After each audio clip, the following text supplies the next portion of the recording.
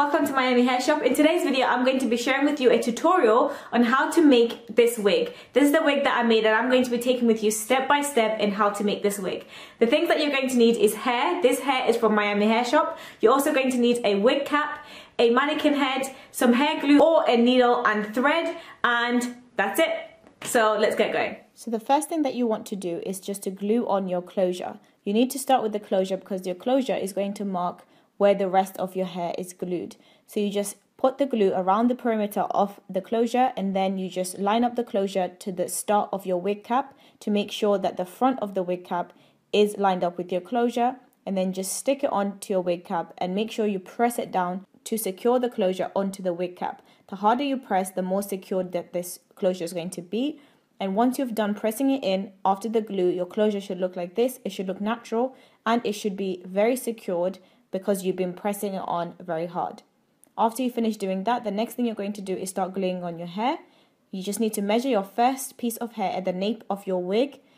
This piece is the smallest piece, so you measure it and then you cut it. Just apply the glue all across the weft of the hair. Make sure that the glue stays on the weft of the hair because you don't want the glue to go onto your actual hair as, as it's very difficult to remove. So you just put the glue once again onto the weft of your hair and then set that to the side so that it can dry for about 30 seconds while you measure the next piece of your hair.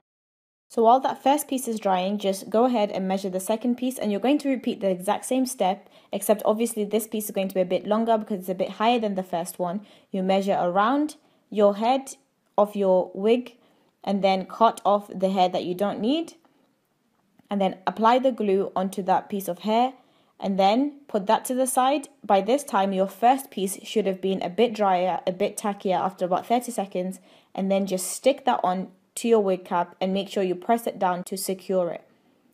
Once you've secured it, just put some pins onto the ends of that first piece of hair. This is just to make sure that while it, whilst it dries some more, it's not going to move while you manipulate the rest of your wig and put on the next piece. At this point, the next piece should be a bit tackier because it's been about 30 seconds. So you just pick that up and glue it on just as you did the first piece where you measured it before.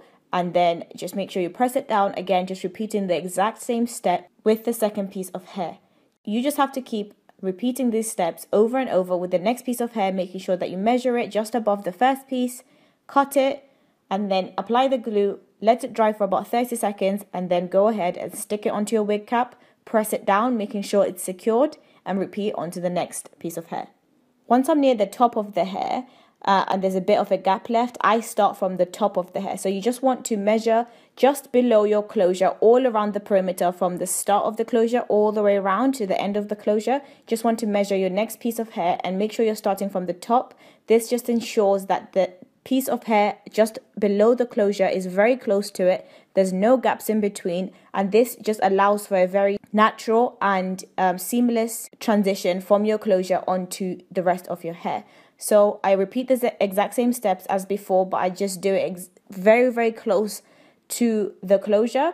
And then once I've stuck that piece of hair on, I move the hair away and then I add on the next piece just below that piece, making sure that it's very close to each other so that there's no gaps, there's no big gaps between each weft, and you're closing it very close to each other, allowing for a very seamless look. Once all your hair has been glued on, it's going to look a bit messy. So what you want to do is just to brush it all together so that everything just blends in together Again, the closure blends in with the rest of the hair. There's no gaps. And as you're brushing on, as I'm pulling this hair, you're seeing that it's very secure and um, the glue does the same job as sewing it on. You just want to brush the hair out and making sure that everything blends in together well.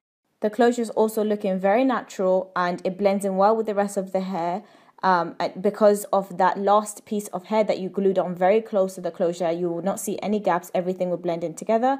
And this is what the wig looks like before it's been styled. Straight after I finish making this wig, this is what your wig would look like. This is before anything has been styled. You just need to go ahead and style this wig and customize it for your hair. So after I finished customizing and putting on this wig, this is what it looks like. It's very natural. It's very long. It's secure. You know, even though I used um, some hair glue, it looks really nice, really natural on on once you've, you know, laid your wig down and you've put it on. And I'm going to share with you in a different video how to style this straight hair. So I hope you enjoyed that video and see you on our next one. Bye.